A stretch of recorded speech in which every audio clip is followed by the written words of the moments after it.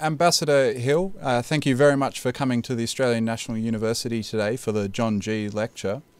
I wanted to start by asking you about the role of weapons of mass destruction. Despite the challenges in the Middle East, conflict in Eastern Europe, uh, even problems and tension in Asia, we still don't seem to hear the word nuclear very much. Do weapons of mass destruction matter these days? Well, I think they sure do. And uh, I think we've got a couple of issues that are very serious.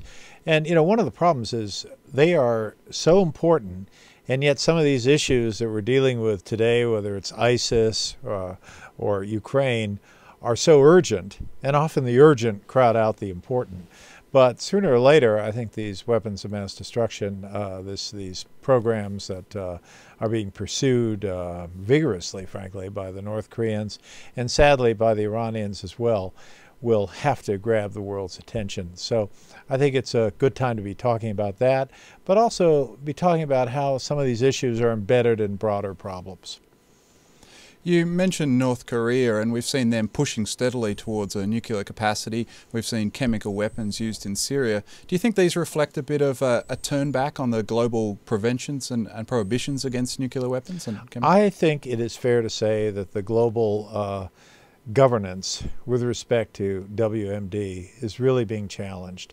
It's being challenged definitely by the North Koreans who simply don't acknowledge it. In fact, they too have chemical weapons uh, stocks. Uh, it's been challenged by the uh, by the Syrians, but it's also being challenged by the Iranians. And uh, I think all represent serious challenges. And if those challenges are not met, uh, especially uh, with respect to Iran, you could see um, further uh, further spread of these weapons, such that I think the global governance of them really begins to fall apart. One of the fears a lot of people have is um, terrorist groups getting weapons of mass destruction. Do you see that as an issue when looking at a threat such as ISIS? Um, you know, when you look at something like ISIS, it is quite clear that they would do anything they feel they can get away with. Certainly that was the case of Al Qaeda. They killed uh, 3,000 people in New York. They would have been happier were 30,000, 300,000, 30 million. So you do you are dealing with organizations that really have no scruples, and therefore the potential that they could get a hold of weapons of mass destruction and have a capacity, you know, whether they get it from the internet or somewhere else, I think is quite worrisome. Finally, the John Gee Memorial Lecture is honouring an Australian diplomat who was heavily involved in the Australia Group in chemical, setting up the Chemical Weapons Convention.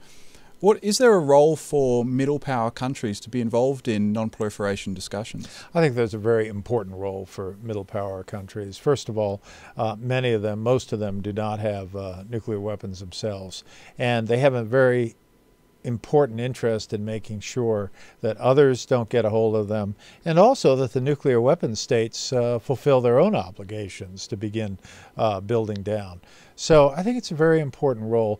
It's also a role that I think is filled very credibly by middle power countries. I mean, they are not looking to keep their nuclear weapons and, and have others uh, do away with theirs.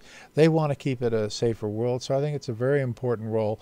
And I think Australia in particular has had a, an important role looking at issues of, uh, of uh, materials and uh, purchases that are consistent with uh, nuclear weapons proposals, these nuclear weapons pro uh, programs, these types of things.